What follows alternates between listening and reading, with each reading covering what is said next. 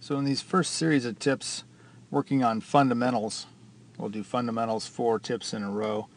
And this one really working on the grip and the function of the grip.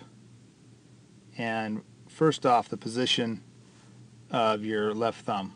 And so for a lot of players the position of the left thumb becomes what we call too short meaning they'll actually this thumb will be pulled back up the shaft here.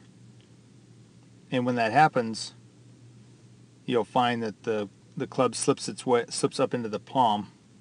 It'll actually migrate up into the palm up here, which freezes the wrist so they can't hinge properly.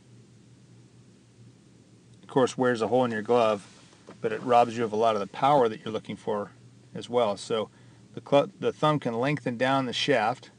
Certain people more than others can put the, the thumb down there, but if it's too far down like so, that's not going to work. But too short, uh, also gives you some trouble. So what we'll see from this one is as the thumb shortens, you can see here, as the thumb shortens up the shaft, the position of my hand really changes on the golf club and the handle, like I said, slips up into the palm,